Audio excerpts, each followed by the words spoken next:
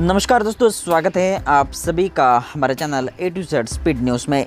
दोस्तों, कौन बनेगा करोड़पति शो दर्शकों का सबसे पसंदीदा शोज़ में से एक है, जो अब तक कई लोगों की ज़िंदगी बदल चुका है।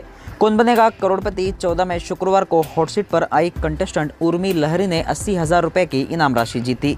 उर्मी एक लाख साठ हज़ार रुपये के आसान सवाल पर जाकर अटक गई और उन्होंने गेम को छोड़ने का फैसला लिया।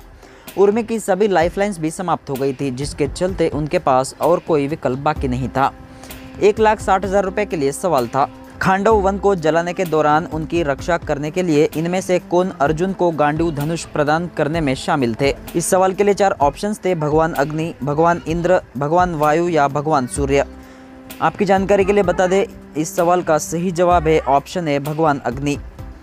दोस्तों, उर्मी लहरी पेशे से एक कॉरपोरेट लॉयर है और वे गुरुग्राम, हरियाणा की रहने वाली है। दोस्तों, उर्मी लहरी के लिए इस वीडियो को दिल से एक लाइक ज़रूर कीजिए। साथ ही इस वीडियो को ज़्यादा से ज़्यादा लोगों को शेयर कीजिए और अभी तक आपने हमारा यूट्यूब चैनल सब्सक्राइब नहीं किया है तो सब्सक्राइब करके बेलाइकन ज़रूर दबाए। धन्यवाद।